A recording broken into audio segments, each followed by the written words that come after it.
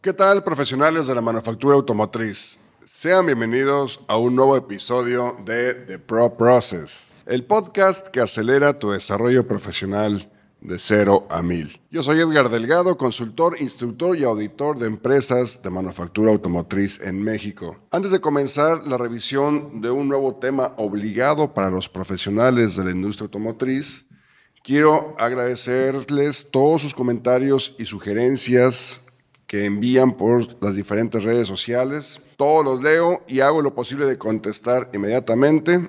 Muchas gracias por su participación. Recuerden que el objetivo es crear esta gran comunidad de profesionales de la manufactura automotriz. Muy bien, en esta ocasión quiero platicarles de un tema muy automotriz. Vamos a hablar de control estadístico de los procesos cómo sacar provecho a esta poderosa herramienta estadística, cómo poder anticiparnos a las fallas en nuestros procesos. Bueno, les platico que hace más de un año, un par de años, una empresa de capital brasileño instalada en Monterrey, Nuevo León, nos buscó porque tenía una situación donde el gerente de operaciones nos comentaba que sus equipos eran de última tecnología, transferencias recientes de otras plantas en el mundo y que tenían eh, un control estadístico ya automático dentro de los procesos. Me explico. En las diferentes etapas de ensamble, ellos ya tenían, como parte del desarrollo de las diferentes estaciones, sistemas automáticos que graficaban el desempeño tanto de los productos como de los procesos. Yo no había visto algo similar en otras empresas, pero me pareció bastante interesante y sobre todo apropiado que durante el desarrollo del proceso de fabricación se haya considerado la necesidad de poder proveer de información en tiempo real, información estadística sobre el desempeño de los procesos. El punto es que las diferentes estaciones de trabajo tenían sus gráficas de control, todas ellas, donde era posible tener estas, eh, estos datos en tiempo real. El tema con esta organización y por la razón por la que nos buscaron es que no se conocía, no se entendía la correcta interpretación de las gráficas de control. Es decir, el corporativo brasileño, pues de cierta forma estaba preocupado, molesto, pues ellos pensaban que no se quería o no se usaba el sistema de control estadístico en todo su potencial, que se había hecho una inversión que no estaba siendo efectiva, no estaba usando, y entonces necesitaban poder comenzar a generar acciones a partir de los diferentes datos de los procesos. Bueno, al momento de hacer la visita en la planta y empezar a ver todas las diferentes estaciones de trabajo, una pregunta que resaltaba o común era cuando la gráfica de control se sale de control, ¿qué tenemos que hacer?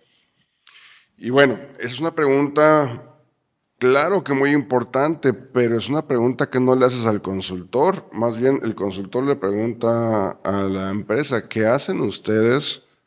cuando la gráfica se sale de control. Esta empresa no lo, no lo entendía, no lo conocía, básicamente no sabían qué hacer y ese era el principal problema, jóvenes, que tenían los dispositivos suficientes, tenían los datos, tenían las gráficas, pero no sabían qué hacer con ellas. Y bueno, aquí es donde nosotros tuvimos que ayudar a reducir esa frustración que tenía la organización de que no se hacía el uso adecuado de, la, de los dispositivos en los que se había invertido tanto desde el desarrollo del proceso de fabricación. ¿Qué fue lo que hicimos? Bueno, aquí lo primero era identificar qué tipo de gráficas de control estaban utilizando. Aquí era interesante, jóvenes, que como eran sistemas automatizados, tenían el 100% de los datos del proceso. Es decir, para cada uno de los productos tenían el valor variable de las diferentes características del producto. Cosa extraña, al momento de revisar el tipo de gráfica que ellos tenían, estaban llevando gráficas basadas en medias y rangos, gráficas XR, lo cual es incorrecto, jóvenes, puesto que si ellos tenían ya toda la información, todos los datos, lo correspondiente era que utilizaran una gráfica IMR, gráficas de rangos medios y datos individuales. La gráfica XR es muy útil, pero cuando no tienes todos los datos cuando tú quieres, a partir de una muestra, entender el comportamiento de una población, pero ellos tenían en muchos casos toda la población, entonces podían ser muchos más efectivos en sus análisis. Por alguna extraña razón, estaban usando gráfica XR, ese fue uno de los primeros temas que tuvimos que, revisar, puesto que la gráfica no era la correcta para los tipos de procesos. Hay otros tipos de gráficas para atributos, eh, revisamos todas ellas y lo primero fue asegurar que el tipo de representación gráfica que estaban utilizando era la adecuada tanto para sus productos y sus procesos. Posteriormente, tuvimos que ayudar al personal que iba a interpretar estas gráficas a tener conceptos básicos, adquirir conceptos básicos de estadística. Conceptos como qué eh, significan límites de control, cuándo podemos decir que un proceso es estable estadísticamente, qué es el, el sobreajuste, diferentes conceptos que alguien que va a interpretar gráficas debe de conocer. En este caso, la organización quería que fuera el propio operador el que interpretara estas gráficas. Entonces ahí hubo que trabajar fuerte porque pues no tenían muchos de ellos el sustento eh, vamos a decirlo así, eh, la educación suficiente para poder entender qué es un promedio, qué es una desviación estándar. Bueno, lo que hicimos fue algunos ejemplos eh, básicos donde pudimos transmitir los conceptos básicos al personal que iba a utilizar las gráficas de control. Igualmente, tuvimos que repasar eh, las competencias a los inspectores e ingenieros.